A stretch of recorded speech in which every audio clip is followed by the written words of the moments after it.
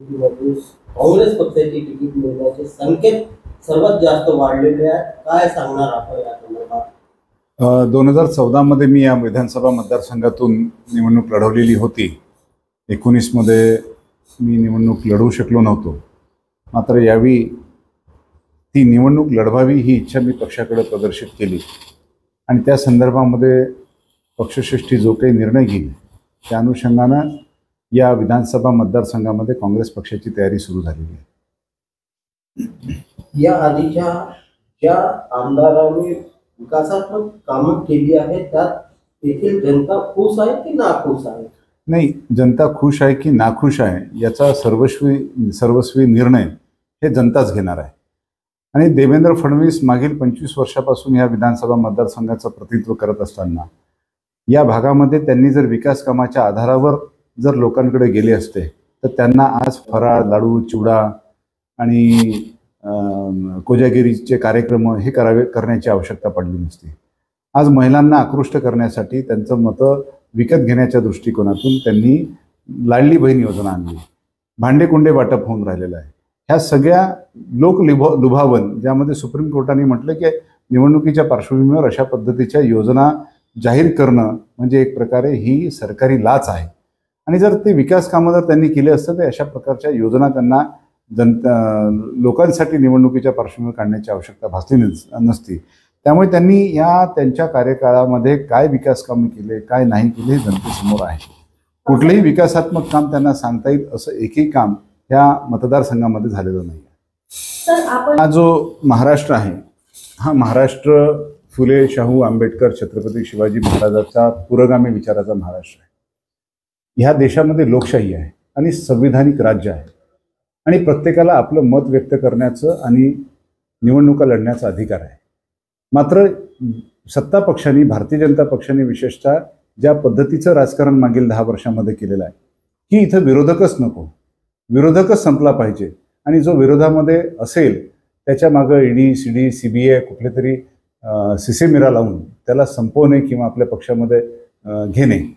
हा जो प्रयत्न आहे हा लोकशाहीला आणि संविधानाला मारक आहे. त्यामुळे मी ठरवलं की ह्या व्यवस्थेतून सर्वसामान्य लोकांना मुक्ती द्यावी लागणार आहे. आणि हा विचार ज्या नागपुरातून येतो त्या नागपुरातून आपण निवडणूक लढवावी. त्यामुळे मुद्दे जे आहेत ते मुद्दे हे जनतेचे आहेत.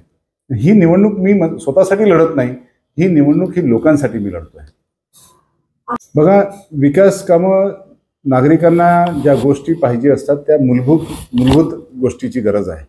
त्याचे संविधानिक अधिकार पाहिजे. त्यांना दान नाही पाहिजे. संविधानिक अधिकार कोणते आहेत त्यांचे? त्यांना शिक्षण पाहिजे. त्यांना आरोग्याच्या सुविधा पाहिजे. त्यांना रोजगार पाहिजे. महागाई कमी असली पाहिजे. त्यांचं जीवन सुरक्षित असलं पाहिजे. त्यांना सामाजिक सुरक्षा असली पाहिजे. सामाजिक न्याय मिळाला पाहिजे. यापैकी कुठल्या गोष्टी आपल्याला असं वाटतात की ह्या शहरामध्ये आणि ह्या राज्यामध्ये आहेत?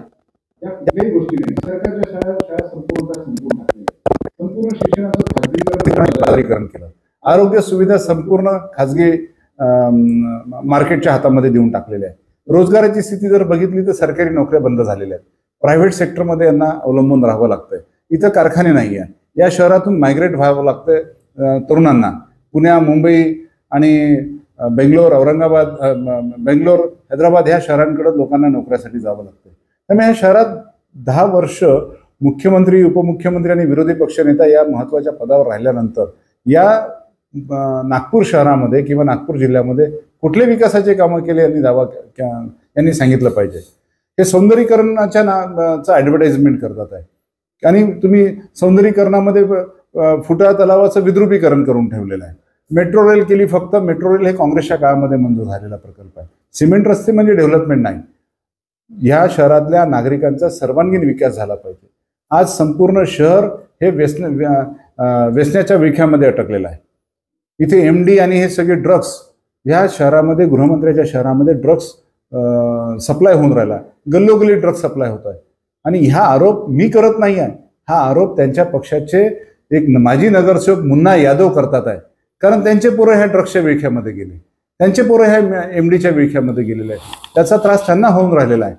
आणि गृहमंत्र्याच्या शहरामध्ये जर अशा पद्धतीचं वातावरण असेल तर मला असं वाटतं की हे सर्व सेक्टरमध्ये यांचं अपयश आहे. अवैध धंद्यामध्ये काय गृहमंत्र्याच्या हात असल्याचा आपण आरोप गृहमंत्र्याच्या शहरामध्ये जर होत असेल तर ते अपयश हे गृहमंत्र्याचं आहे. आणि निश्चितपणानं त्यासाठी जबाबदारी कोणाची असते? ती कायदा सुव्यवस्था राखण्याची आणि ह्या संपूर्ण व्यवस्थेला नियंत्रित ठेवण्याचं काम गृहमंत्र्याचं असते. आणि गृहमंत्र्याच्या शहरात जर समजा अशा पद्धतीचे अवैध धंदे चालत असेल तर त्याला त्याची जबाबदारी तर गृहमंत्र्याचीच राहणार आहे. सर आता आपण बघतोय सर एनसीपी नेते जे मुंबईचे बाबा सिद्दीकी यांचा आता गोळीबार करून हत्याकांड झालेला आहे. त्यामध्ये तुम्हाला काय वाटते सर? हा राजकारण असेल की किंवा त्यांचा पर्सनल काही फंड असेल? नाही या संदर्भात मी काही भाष्य करणार नाही. कारण त्या ती जे राजकीय हत्या आहे एका राजकीय व्यक्तीची हत्या काही अशी सहजासहजी किंवा सहज झालेली हत्या वाटत नाही. त्याची सखोल चौकशी होण्याची आवश्यकता आहे. आणि त्यामध्ये त्या हत्येमागचा हेतू काय आहे? कुठल्या हेतूने ते व्यावसायिक हेतूने केलेली आहे का? व्यक्तिगत काही रंजिश होती का? किंवा राजकीय हत्या आहे? याची चौकशी अंतीच आणि हे निष्पक्ष चौकशी चौकशी होणं गरजेचं आहे. कारण पोलिसांच्या चौकशी आपण बघतोय की ज्या पद्धतीने यांनी त्या मागच्या अनिल देशमुखांच्या प्रकरणामध्ये सुद्धा ज्या पद्धतीने कमिशनर ऑफ पोलीसचा त्यांनी वापर पॉलिटिकल कारण कारणासाठी केलेला आहे त्यामुळे ह्या चौकशा नि निपक्ष झाल्या पाहिजे आणि सत्य बाहेर आलं.